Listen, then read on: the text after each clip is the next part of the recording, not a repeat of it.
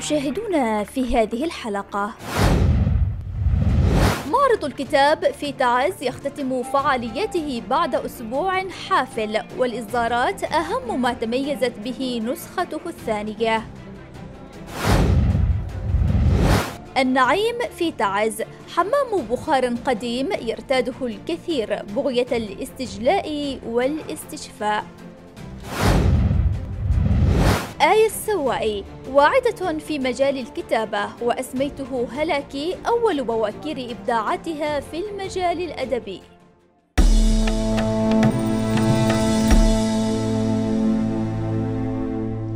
مرحبا بكم من جديد. مستهل حلقتنا موجز سريع لأهم الفعاليات التي شهدتها تعز هذا الأسبوع.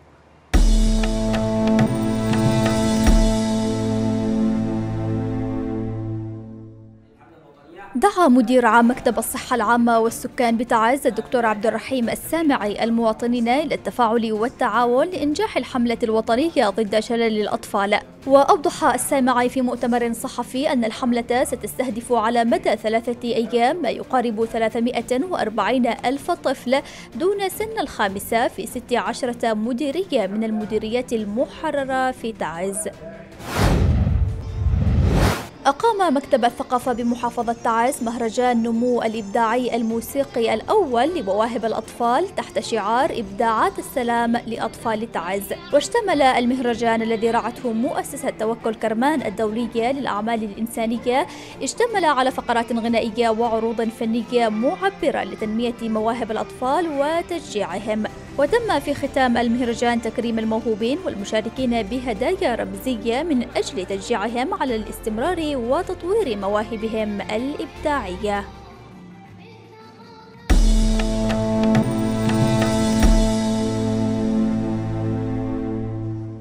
مشاهدينا عن علاقة الإبداع بالمعاناة نتساءل ونبحث أكثر عن مدى التأثير الذي يتركه أحدهما على الآخر وهل هو تأثير سلبي أم إيجابي؟ في الحقيقة هذه التساؤلات هي انطباع زائر خرج بها أثناء زيارته لمعرض الكتاب في نسخته الثانية والذي افتتح أسبوعه بإصدارات إبداعية أدبية متنوعة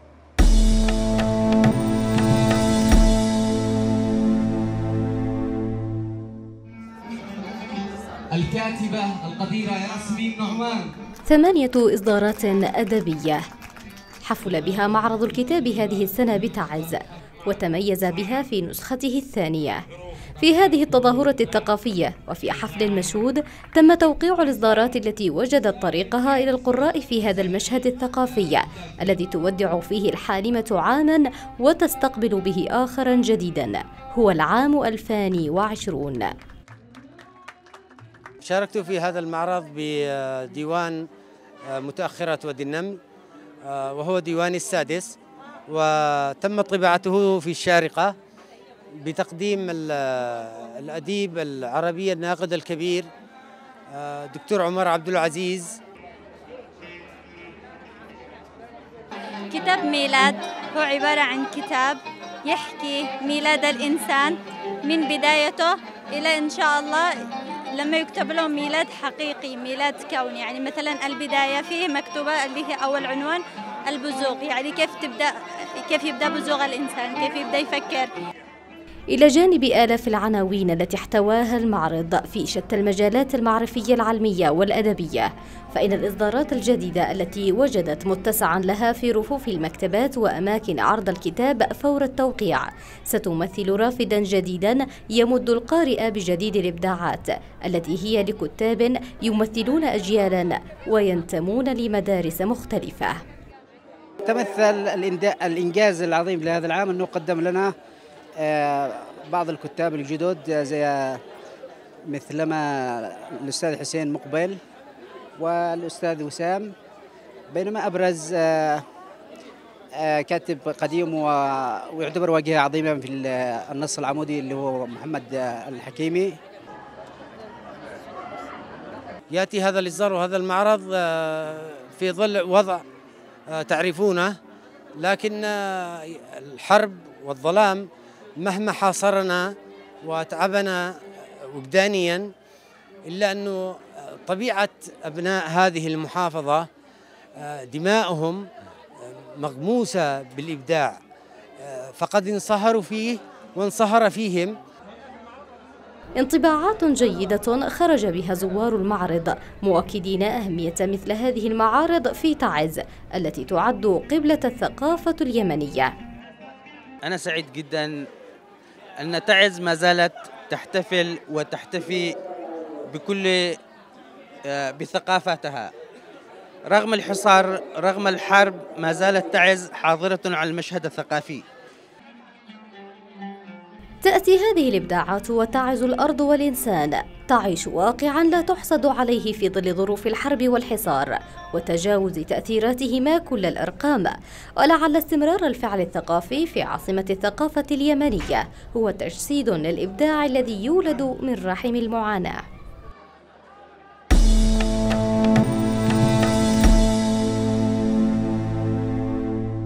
ولتسليط الضوء على هذه الإصدارات الأدبية والثقافية يسعدنا أن نستضيف معنا الأستاذ نبيل الحكيمي رئيس اتحاد الأدباء والكتاب بتعز أهلا وسهلا بك أستاذ نبيل. أهلا بك. هذه الإصدارات الجديدة للكتب ما الذي تمثله وما القيمة التي ستضيفها على الساحة الأدبية في تعز؟ آه، شكرا جزيلا. آه، تمثل هذه الإصدارات آه، قيمة كبيرة وتمثل قبل ذلك آه، ملحة لتواصل آه، الناس مع إبداعات محيطهم مع إبداعات كتاب من نفس المنطقة كتاب من نفس البلد. آه، كتاب يمثلون آه، تواصلا فكريا حقيقيا في أي مجتمع من ال- الم- المجتمعات.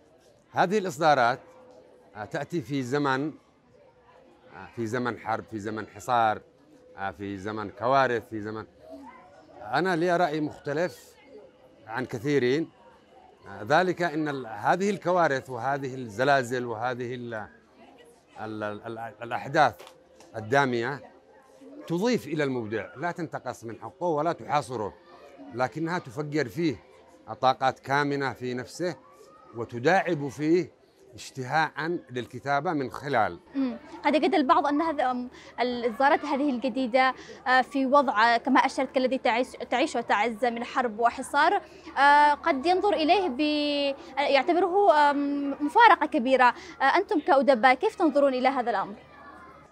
أنا أسلفت القول بأني أختلف عن كثيرين ال- الأحداث هذه تضيف إلى المبدع وتفجر فيه مكامن إبداعاته الشاعر تعطيه مجالا جديدا ليتناول من خلاله قصيدة والكاتب آه، الروائي تعطيه احداثا يراها ولا يخترعها ويبتكرها ويحاول أن يضيف لها من الدراما التي هي متواجدة حوله أصلا. فقط أن يكون مبدعا حقيقيا وهذه الإصدارات آه، آه، تشكل آه، تاريخا لهذه المرحلة آه، يضاف إلى تاريخ البلد وتعمل على وأد التاريخ المزور الذي دائما ما يكتبه المنتصرون ويكتبونه بلغتهم هم نعم. كما هذا- في تاريخنا نعم. العربي. الطويل آه، هذا بالتأكيد ينقلنا إلى سؤال حول واقع المثقف والمبدع في تعز. كيف هو؟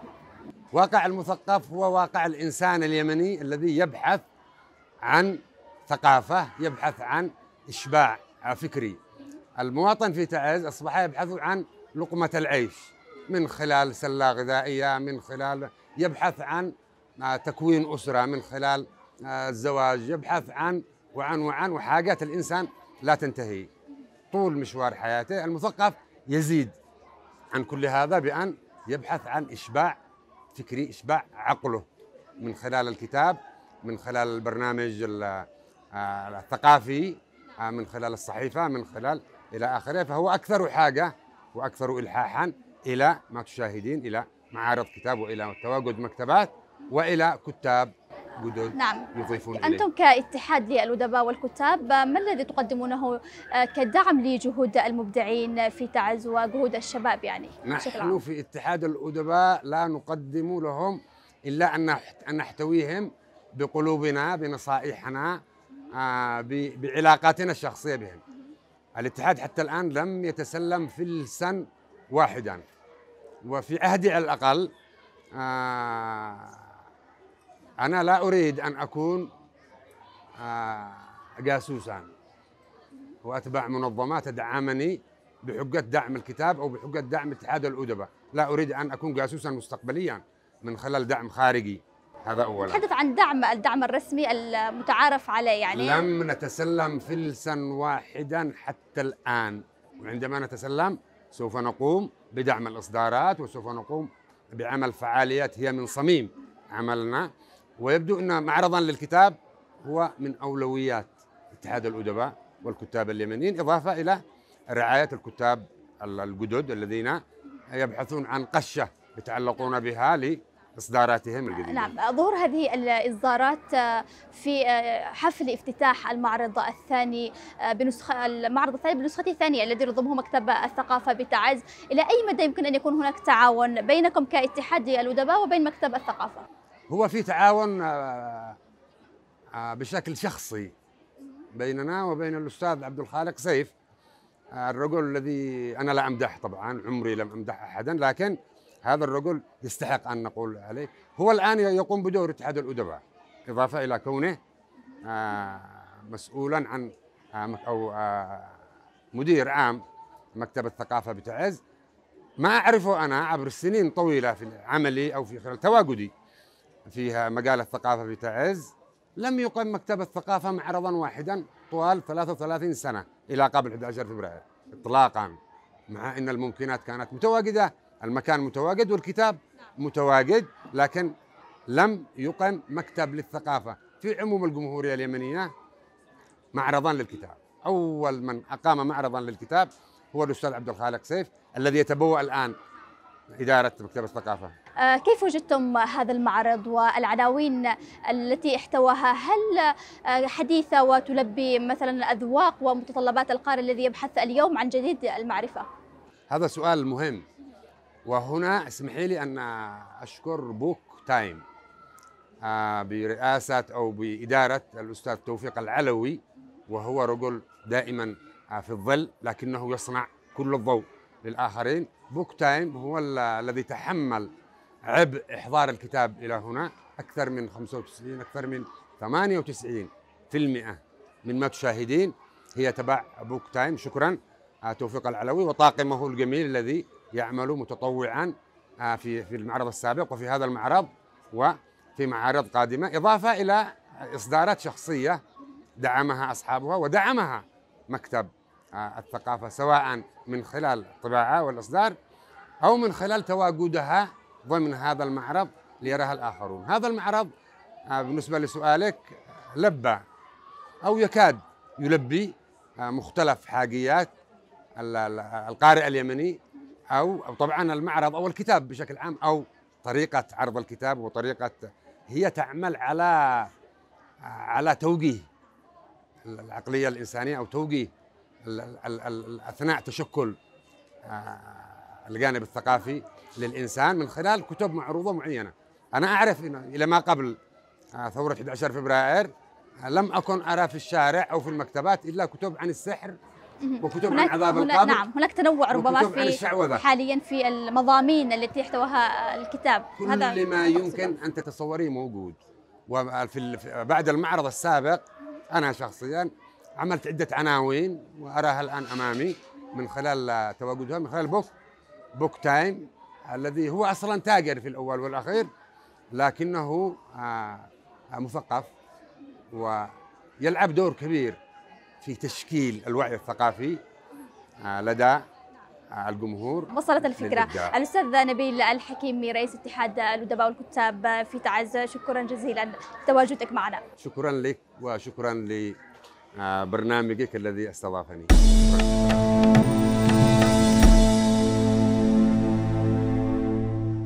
مرحبا بكم من جديد. تحظى الحمامات البخارية في اليمن باهتمام خاص من قبل الباحثين عن الاستجمام في الأماكن الدافئة والراغبين بالاستطباب بالطرق التقليدية الطبيعية. حمام النعيم هو واحد من اثنين من هذه الحمامات التي توجد في تعز ويؤمها الكثير بهدف التعرق وإجلاء المظهر والحصول على النشاط والحيوية. نتابع.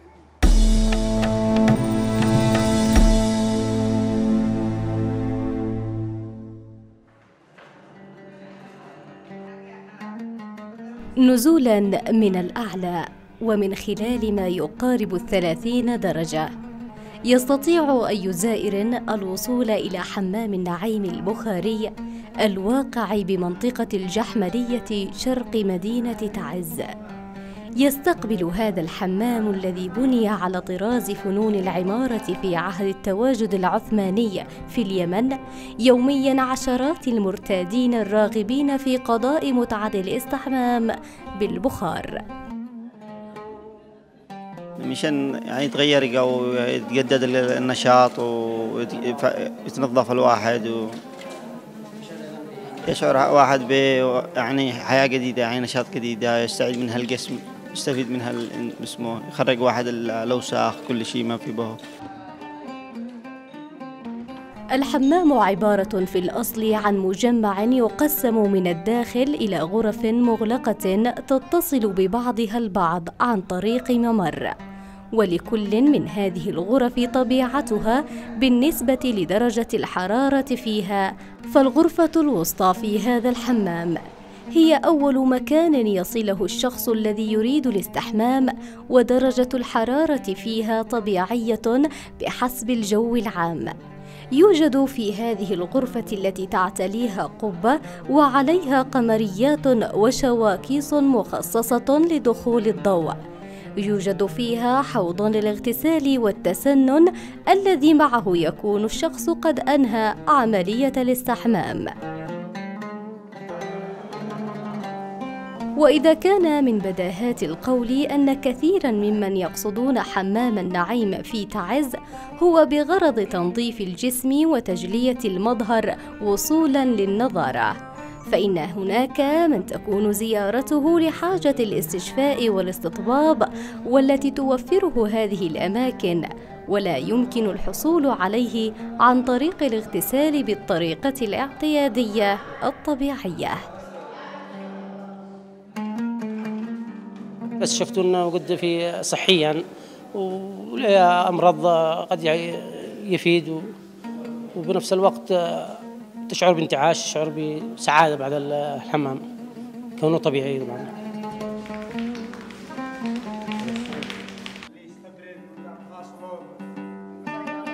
التدليك فوائده إنه يبعد الاوساخ يحرك الدورة الدموية ينشط الجسم يفتح المسامات. يعني الاملاح اللي بالجسم يخرجين اللي يشتي مساق اللي بينه عصبه نقرح له العصبه اللي بينه كرض بالمفصل اللي بينه فر ولا آه، قلب بطنه. يعني يجي الحمام للعلاج لهذه الحاجات الأشياء. يجي يدخل داخل يمتد على بطنه على ظهره على المكان اللي يوقعه. الحمام يشل الوجع اللي بينه. يحضر بعض العرسان إلى هذه الأماكن الدافئة حيث يحظون بمزيد من الاهتمام ويحصلون على بعض اللمسات من خلال تدليك أجسامهم بالحنة والسدر المخلوط بالزيوت الطبيعية لإعطاء الجسم طراوة في فرحة العمر ومنح العريس نضارة في الوجه.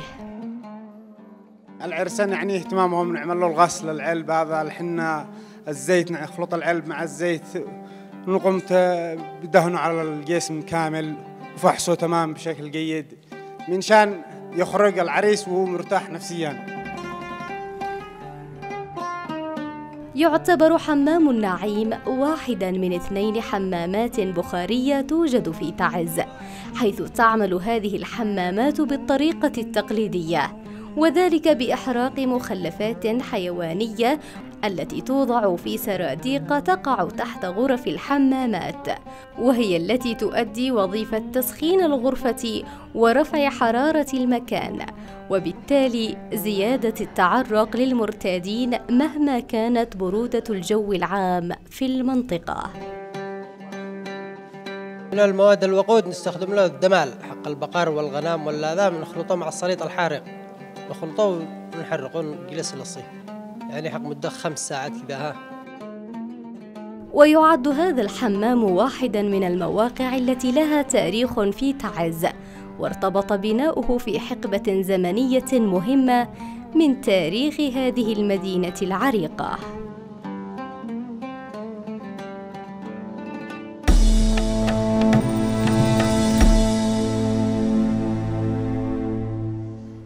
الحرب لا تأتي سوى بالخراب والدمار من المسلمات التي لا يختلف حولها إثنان. لكن كما يقال لكل قاعدة استثناء. فالأمر كذلك عند آية السوائي الطالبة في الإعلام التي وجدت نفسها حبيسة المنزل مع بدء الحرب على تعز.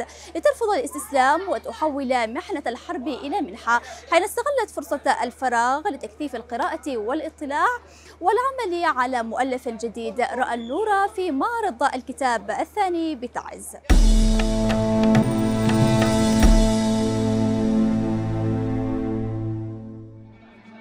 الكاتبة المبدعة ضوء المستقبل آية السوعي. في غمرة فرحة الإنجاز والتكريم بمناسبة إصدار أولى بواكير إنتاجها الإبداعي المتمثل بكتابها المعنون بأسميته هلاكي. وجدت الكاتبة آية السوائي نفسها محاطة بلفيف من الزملاء المبدعين ورفاق الإصدارات الجديدة التي واكبت تدشين فعاليات المعرض الثاني للكتاب بتعز. أصدرت اليوم أول كتاب لي باسم اسميته هلاكي كتاب متنوع يحتوي على نصوص ومقالات. آية هي أصغر ثمانية كتاب احتفت الثقافة بإصداراتهم ولعل الحفاوة التي استقبلها بها القراء كتابها الجديد هو ما زاد من تطلعها للإنجاز. فالكاتبة لا تدخر جهدا في سبيل القراءة وكثير المطالعة إذ وجدت في هذا المعرض فرصتها لتعيش في ظلال الأدب ومعارفه الوارفة. تأثرت كثير بالكتيب بالكاتب. جبران خليل جبران. بعد كذا بدأت أوسع قراءاتي. شوية شوية. تتحدث آية بلغة الكاتب الواثق من نفسه رغم بداية مشوارها وتعطي ملخصا لكتابها التي تقول أنه يغلب على محتواه طابع المقالة الأدبية وهو عبارة عن كوكتيل من الأفكار التي كانت تسقطها على الورق ومواضيعها هي من بنات أفكار الحياة كالحب والغرام. محتوى الكتاب نصوص نصوص متفرقة اللي هي نصوص عن الحب نصوص عن الفراق والخيانة ونصوص غزل ونصوص برضو عن الحياة. بشكل عام نصوص يعني تخلي القارئ ما يمل أبدا وهو واصل لأي صفحة. ممكن يكمل الكتاب كامل بساعة واحدة. عن بداياتها مع الكتابة وكيفية تشكل وعيها المعرفي. تقول آية الطالبة في الإعلام بجامعة تعز أن الشغف بالكتابة جاء مع الصغر وبدأ تحديدا في حالات فن التعبير الذي كان يحظى باهتمام وتقويم الوالدين غير أن الكتابة الواعية للإبداع بدأت منذ فترة قريبة. بدأت أكتب تعبيرات كذا. كان يعقب بعدي أبي بالتعبيرات ويعدل بالكلام وكذا يرجعه صحيح أكثر. البداية بالكتابة كانت آه، من لما كنت صغيرة بدأت كنت أحب أكتب المقدمات حق الإذاعات وكذا وأقدمهن كمان. الحرب لا تأتي بخير. من المقولات المسلمات عند آية وغيرها إلا أن الحرب على تعز وما تسببت به من تأثيرات كانقطاع معظم الخدمات ومنها على سبيل المثال خدمات الكهرباء والإنترنت. مثل دافعا لآية للتوجه الإجباري نحو القراءة كبديل مناسب حيث انكبت كما تقول على ضوء الشموع في قراءة الكتب الأدبية وفي مقدمتها كتب الشاعر والأديب العربي الكبير جبران خليل جبران. مع الحرب والظروف الحاصلة في تعز انقطع النت وانقطع الكهرباء. لقيت نفسي أقرأ أول كتاب لجبران خليل جبران على ضوء شمعة. كتاب بعد كتاب خلال يمكن أقل من شهر قرأت خمسة كتب لجبران خليل جبران أول كتاب واللي هو مؤثر جدا آه، بمسيرتي بالكتابة اللي هو. آه كتاب جبران خليل جبران الأجنحة المتكسرة عندما تحدثك آية عن طموحاتها فهي تلك التي لا تقف عند سقف وترى أن دراستها في الإعلام ستفيدها كثيرا في مجال الكتابة ومستقبلها سيكون في كتابة السيناريو وهو المجال الذي تطمح أن تكون فيه. أحب أكثر بتكاليف الجامعة أو شيء زي كذا أكتب السيناريو وأخرج. أني أنتمي للع- للإذاعة والتلفزيون أكثر. بغض النظر عن الكتابة الصحفية أو كذا آه، أشتي أطور نفسي بالكتابة الصحفية. أكيد دراستي في الإعلام بت- بتسوي تأثير قوي. سواء بالجانب ال- الإبداعي أو المهني. للكاتبة الواعدة أسرة تؤكد أنه من الواجب عليها شكرها اعترافا بفضل التوجيه والتربية والإحاطة بالرعاية والعناية كما أن تقديرا تحمله لمدرسين بذلوا لأجلها الكثير وكذا صديقات كان لهن دورا في الدعم المعنوي والذي مكنها من إصدار كتابها الأول أسميته هلاكي. أبي وعائلتي بشكل عام كانوا الدافع الأول. أما من ناحية إنه النصوص اللي كتبتها في هذا الكتاب فكانوا صحباتي أكثر ناس يسمعوني. الكتاب الذي رأى النور في المعرض مؤخرا لم يكن وليد اللحظة كما تقول الكاتبة إذ مر على لجنة للتقييم والإجازة وكان قد سلم قبل ثمانية أشهر لتظل طيلة تلك الفترة في انتظار الموافقة إلى حين البلاغ الذي تلقته مؤخرا ويفيد بإجازة نصوصها وإقرارها للطباعة.